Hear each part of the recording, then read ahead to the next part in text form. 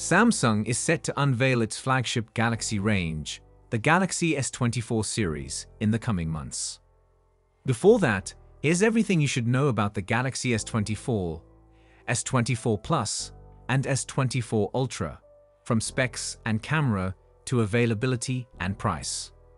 For years, Samsung has been unveiling new Galaxy S devices at its Unpacked event every February. However, next year could see a change, with reports suggesting that the Korean tech giant may launch the Galaxy S24 Plus and Galaxy S24 Ultra in January 2024, which is earlier than usual. Noted leaker Ice Universe has even pinpointed the date to January 18th. Though event will take place at the same San Francisco venue where the Galaxy S23 was introduced. Interestingly, the location is close to the headquarters of Samsung's major rival, Apple, which could signify Samsung's continued strategy to bolster its presence in the USA. The exact availability of the new handsets is uncertain, but based on Samsung's history, they typically hit the shelves one to two weeks after unveiling. Pre-orders are expected to begin immediately after the announcement. Apart from the Galaxy S24 lineup, Samsung might have another surprise in store, possibly with the announcement of the Galaxy Ring, its inaugural smart ring tracker. However, details about this wearable are scarce.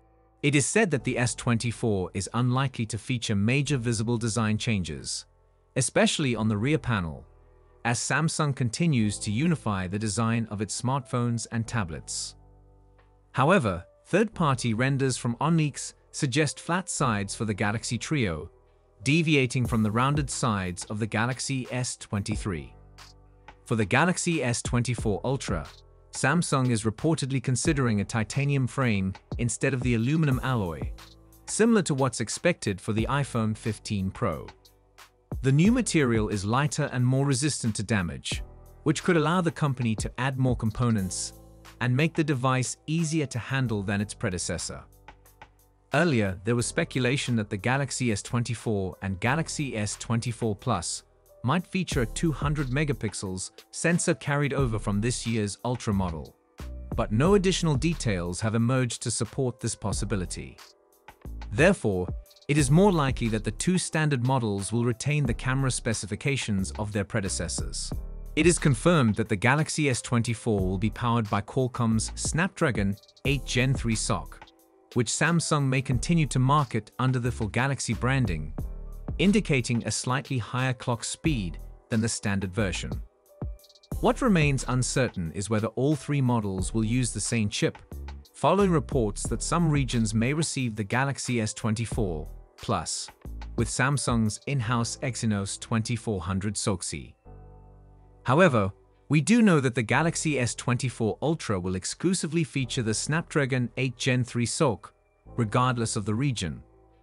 If you're looking for longer battery life in Samsung's next flagships, you might get your wish with the larger battery capacities rumored for the S24 series.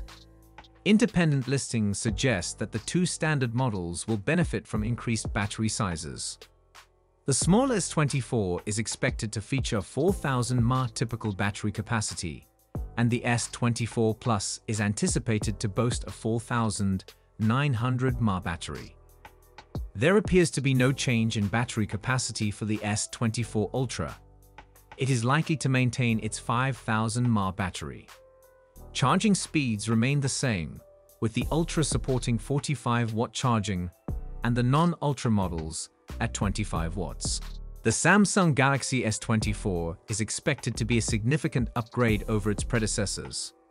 But the changes may not justify the cost over the S23 unless you value the enhanced AI capabilities and the additional power from the new processor. That sums up all the information we have at the moment. Feel free to share with us in the comments below what you find most thrilling about the new generation of the Galaxy S series so far. So let us know what you think in the comment section. And if you enjoy the video, give us a thumbs up. And don't forget to subscribe for more tech news. See you tomorrow. Peace out.